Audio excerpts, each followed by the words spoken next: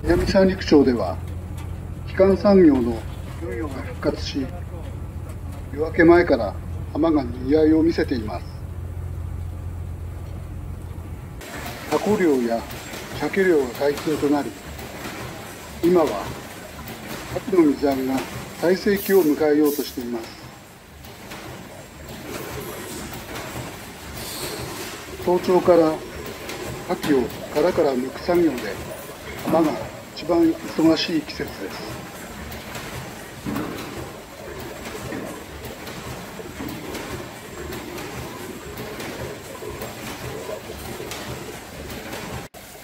大津波で壊滅した施設は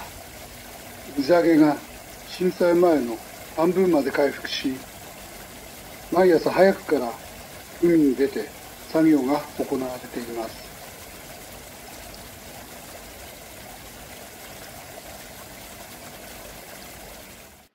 10月には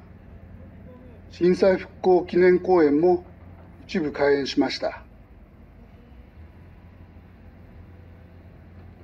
被災した旧防災庁舎が保存されています。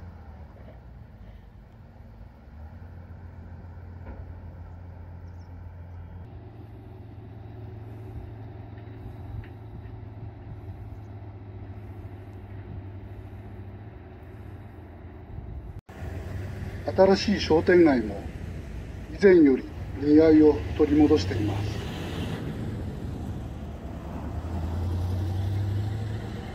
週末には大勢の観光客でにぎわっています。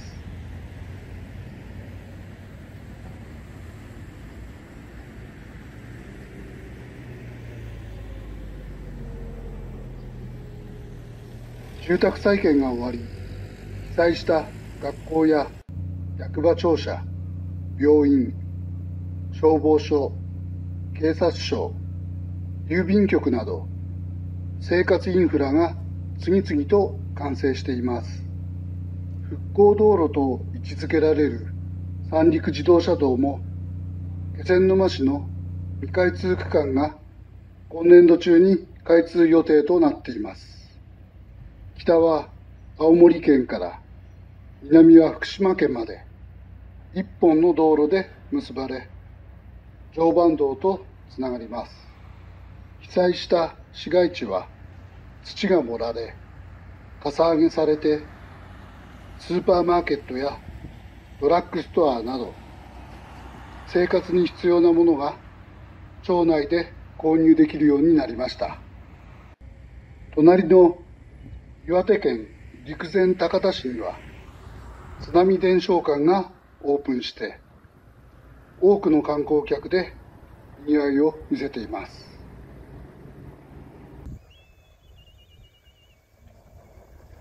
復興のシンボルとなった一本松や壊滅した松林の再生も進んでいます。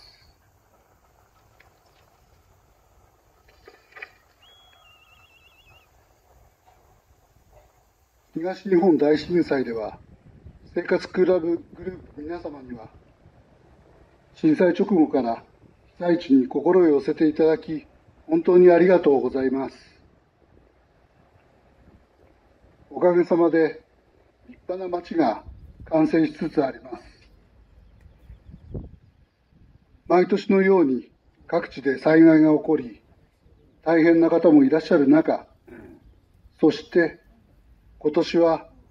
コロナ禍でほとんどのイベントが中止になる中、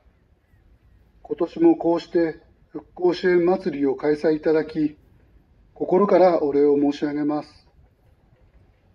また、横浜で皆様にお会いできる日を楽しみにしています。そして、ぜひ、機会がありましたら、復興の形を見に来ていただけたらと思っています。